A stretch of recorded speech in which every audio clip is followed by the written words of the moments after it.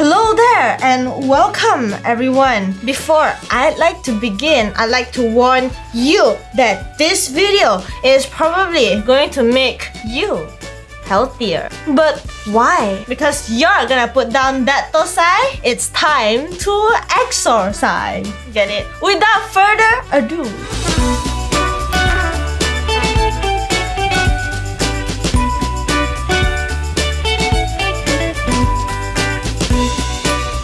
For this week, category is fitness apps. Why do we even need these apps? Just get out and do some star jumps can already lah, right? Wrong. Did you know that there are different kinds of exercise such as aerobic, strength, balance, and flexibility? So, the reason why I'm letting you know this is because I want you to have faith in exercise and yourself. So, if one method doesn't work for you, there are other things you can do. Hope you don't mind that I'll change your mind. Anyways, I'll rate how great each app is with V8.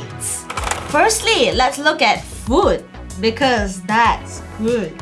To start off, we have Fit. You can use this app to create a meal plan and exercise program according to your body parameters, height, weight, and fitness level. You set your own goals and the app shows you the way to reach it. Because some people, Like me, need to stop being round like a boy. some people like me need to gain muscle, muscle, gain good muscle. Like you know that anime. Nextly, introducing my friend MyFitnessPal. MFP has the largest database of foods you can find for both name brand packaged foods and even homemade meals. Not only for Angmo food, ah, but also for Asian food as well. The best part is, for so many features, it's free. Sometimes MyFitnessPal may be a little rude to remind you about the truth. The reality in calories and the pain abstaining from the grain. And no, washing your cooked rice does not wash the carbs away, okay? Just please don't do it. MFP keeps your portions in check and saves your diet from wreck. Both of these apps get the rating of 8 out of 10 because they're both pretty great and on par with each other.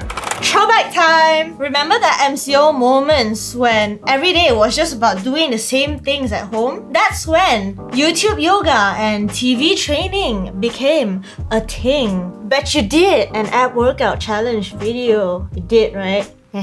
Don't lie. For the strength and aerobic training segment, I have picked Nike Training Club, which is basically a PT app. No, not for Puiting, which is my name. The PT here stands for Personal Trainer. Anyways, during the workout, a video will show you how to exercise. There are over 200 options of endurance and strength workouts for you to choose. The best part of all, it's totally free. There are no ads, premium plans, or paid memberships. Another app I like to give a special mention to is JeFit. This app was designed for gym lovers such as myself.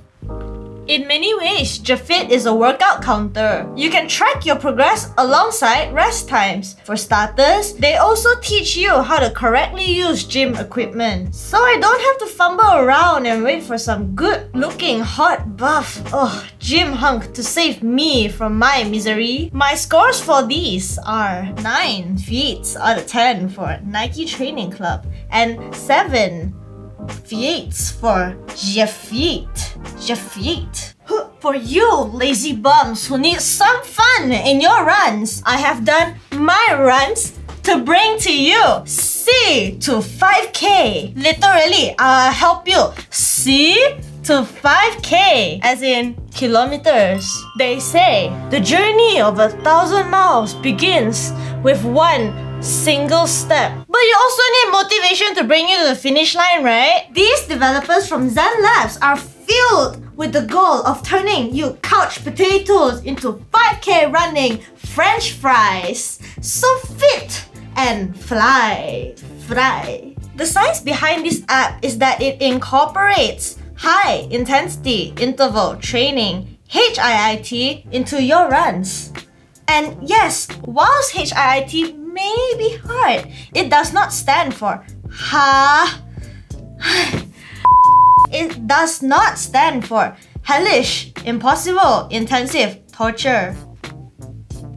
It's just a cardiovascular exercise strategy that alternates between short periods of intense anaerobic exercise with less intense recovery periods. You can burn as much calories as a normal workout for half the time and you only need to do it 3 times a week to be fit. Special mention is Strava. Strava. Strava, the Swedish word for strive. In my opinion, it's great because you can track not just runs but cycling rides, swimming, rock climbing, skiing, and even yoga activity. How? It analyzes data from GPSs, heart rate monitors, and even your bike's power meter. You can also share workouts and performance metrics with other people on the platform. Hence, the company advertises Strava as the social network for athletes. Like Facebook, it is Fitbook.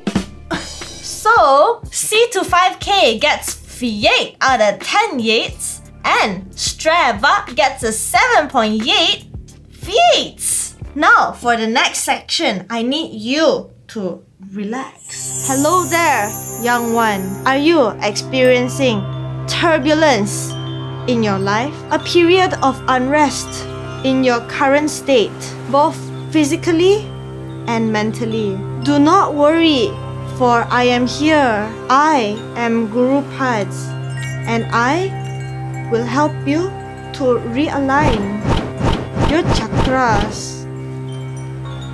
First off, we have YogaGlo. It has over 4,000 classes on different yoga types. Hatha, Kundalini, Iyengar, and Yin. Long ago, these four yoga poses were hard for many, but everything changed when YogaGlo attacked the issue. In classes, a guru teaches you yoga step by step, move by move, and breath by breath. So don't YOLO, know. If yo yoga, yoga na be healthy. Next up on the list, we have Headspace.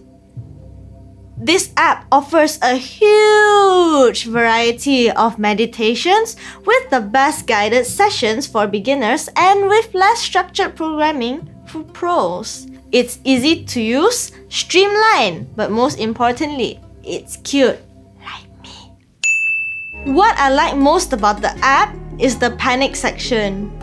The SOS category of meditation is very useful in tough times, like if you ever crash your car, get scammed by MLM, or if you ever get invited for yamta with a friend, but it's just insurance scam.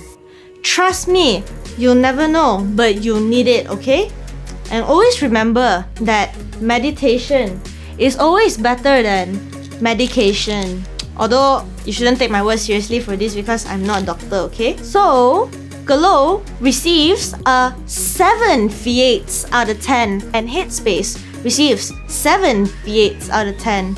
But take note that these apps are only judged by their free to use functions, though I'm sure it'd be much higher if I had the paid version of the app. The winner of my favorite fitness app is Congratulations, pets in Nike clothes. I mean, Nike Training Club app. You did well. Now, dear viewers, it is time for the happy message of the day. If you don't turn if you don't turn your fatness into fitness, your sadness will become your sickness. Steady, steady, Bom Pipi is out of date already. Now you listen to me because it is going to be fit, fit, Bom